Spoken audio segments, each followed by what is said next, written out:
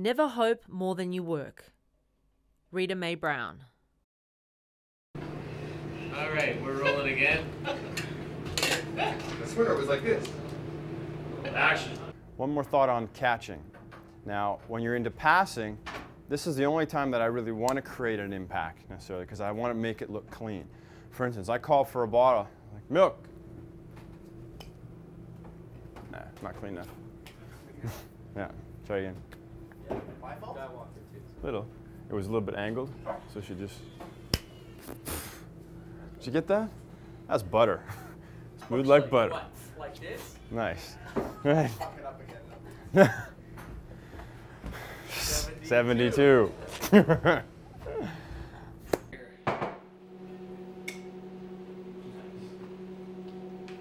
Smile, People pay attention when you throw bottles, right? Action.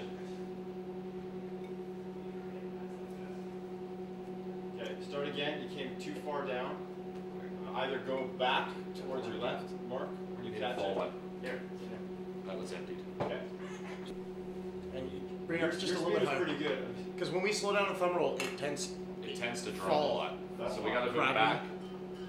Okay, how's this? Close enough? Steve, can you get more down further? Yeah, oh, perfect, perfect. Perfect. How are these moves? Yeah, good. Okay, try again. Hang on. Yeah, get that right spot. That one's open. Okay. We're rolling? Yeah. Action. Nice. Very nice. Again. Another thought on catching. When you have a partner, this is probably the only time I want you to create an impact rather than a cushion. Right? A little bit of a cushion, but mostly you want to stick it. So for instance, I call for a bottle of milk. Milk. Bang. Smooth like butter. Gotta love that.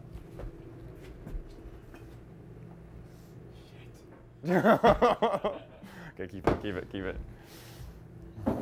Take two. Scott. Um, 70. No! Three. that doesn't count.